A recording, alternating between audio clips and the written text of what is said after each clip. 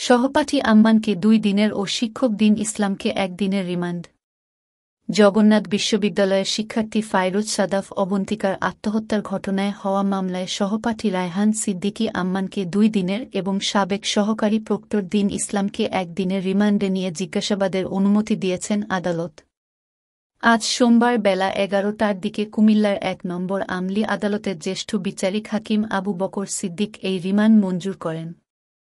আত্মহত্যার প্ররোচনা মামলায় গ্রেপ্তার দিন ইসলামের গ্রামের বাড়ি কুমিল্লার মুরাদনগর উপজেলার রামচন্দ্রপুর উত্তর ইউনিয়নের আমিননগর গ্রামে। তিনি বিশ্ববিদ্যালয়ের ব্যবস্থাপনা বিভাগের সহকারী অধ্যাপক ও সহকারী প্রক্টর ছিলেন। আর রায়হান সিদ্দিকী আম্মানের বাড়ি পাবনার ঈশ্বরদী উপজেলার পুরারদাইর গ্রামে। তিনি বিশ্ববিদ্যালয়ের আইন বিভাগের স্নাতকোত্তরের শিক্ষার্থী ও অবন্তিকার সহপাঠী ছিলেন। আদালত সূত্রে জানা গেছে, গত শুক্রবার রাত সাড়ে নয়টা থেকে দশটার মধ্যে কুমিল্লা শহরের দমকল পুকুরের উত্তর পারে অরণি বাসার দ্বিতীয় তলার কক্ষে ফেসবুকে স্ট্যাটাস দিয়ে আত্মহত্যা করেন ফাইরুজ সাদাফ অবন্তিকা। এ ঘটনায় অবন্তিকার মা তাহমিনা বেগম বাদী হয়ে শনিবার রায়হান সিদ্দিকী আম্মান ও শিক্ষক দিন ইসলামের বিরুদ্ধে কুমিল্লার কোতোয়ালি মডেল থানায় আত্মহত্যার প্ররোচনার অভিযোগে মামলা করেন।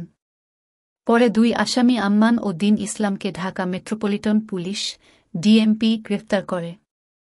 গতকাল রোববার কুমিল্লা জেলা ডিবি পুলিশ ও কোতোয়ালি মডেল থানা পুলিশের সদস্যদের কাছে তাদের হস্তান্তর করে ডিএমপি।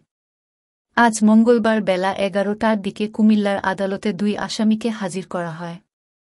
তখন মামলার তদন্ত কর্মকর্তা কুমিল্লার কোতোয়ালি মডেল থানার পুলিশ পরিদর্শক তদন্ত শিবেন বিশ্বাস আদালতের বিচারকের কাছে রায়হান সিদ্দিকির পাঁচ দিনের ও দিন ইসলামের দুই দিনের রিমান্ড চেয়ে আবেদন করেন। আদালতের বিচারক রায়হান সিদ্দিকির দুই দিনের ও দিন ইসলামের একদিনের রিমান্ড মঞ্জুর করেন। কোতোয়ালি মডেল থানার পুলিশ পরিদর্শক তদন্ত শিবেন বিশ্বাস বলেন, আদালত বলেছেন, এক সপ্তাহের মধ্যে রিমান্ড কার্যকর করতে। রিমান্ডের আদেশের কপি পাওয়ার পর তাদের রিমান্ডে আনা হবে।